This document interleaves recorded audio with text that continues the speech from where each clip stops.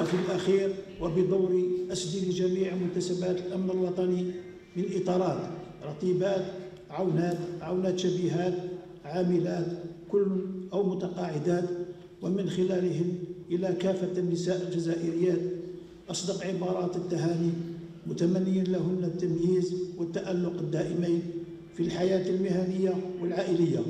كما لا تفوتنا الفرصة لنتذكر بإجلال وإكبار نساء الجزائر اللواتي ضحينا بالنفس والنفيس ليبقى بلدنا المفدي ينعم دوما بالأمن والأمان والرقي. أشكركم على كرم الإصغاء. كل عام وأنتم بخير. والسلام عليكم ورحمة الله تعالى وبركاته.